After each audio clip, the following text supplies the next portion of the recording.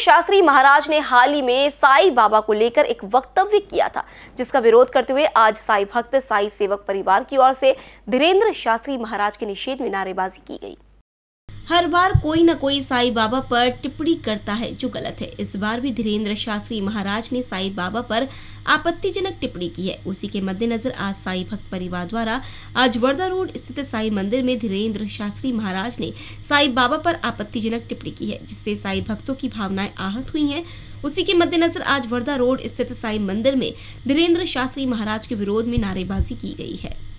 आम्ही निषेध यासाठी करतो केवळ धीरेंद्र महाराज म्हणून नाही गेल्या पाच वर्षापासून असंच होतं आहे जो उठतो त्याची जीभ जी टाळूला लागते काहीतरी बोलून देतात. ते बोलण्याच्या अगोदर आमचं म्हणणं असं आहे की सद्गुरू साईनाथ हे संत होते अवतारी पुरुष होते त्यांच्या बाबतीत शास्त्रामध्ये काय लिहिलं? याचा पुरेपूर अभ्यास या ढोंगू भोंदू साधूंनी करावा. याचं कारण असं सनातन धर्माचं सगळ्यात मोठं पीठ आंध्रामध्ये गोदावरी पूर्वला दत्त संप्रदायाचं पीठ आहे पिठापुरम. या पिठापुरमनी हा ग्रंथ लिहिला आहे याला म्हणतात श्रीपाद श्रीवल्लभ चरित्रामृत. हा ग्रंथ तेहतीस एकोण तेराशे पन्नासमध्ये लिहिल्या गेल्या. संस्कृत भाषेत तेलगूमध्ये हिंदीमध्ये आणि मराठीमध्ये.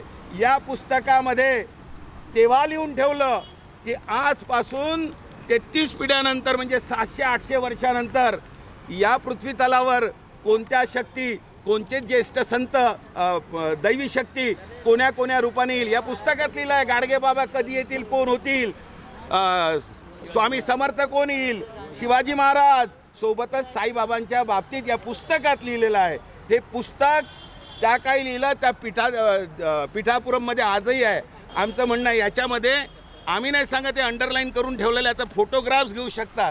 हे बघा यात लिहिलेलं आहे सरळ वाचून दाखवण्यात श्रीपाद पदू म्हणाले त्याला नाथ असे संबोधन देत आहे. आतापासून तो साईनाथ या नावाने संबोधन केल्या जाईल. मित्रांनो सांगायची गोष्ट एकच. आमचं म्हणणं नाही ना. आम्ही काय म्हणतो? आम्ही सनातन धर्माचे आहो आम्ही रामाला मानतो. आम्ही हिंदू आहो हा गोंधळ तुम्हाला काढायचा आहे ना? पिठापुरमला जा. या पुस्तकाची स्टडी करा. इथल्या या पीठाचे जे प्रमुख आहे यांच्याशी चर्चा करा. सविस्तर चर्चा करा. आणि मग ठरवा तुम्ही बाबांवर बोटं उचलायची की नाही. कॅमेरा पर्सन राजकुमार मोहर किस्सा क्षितिजा देशमुख बीसीएन न्यूज नागपूर.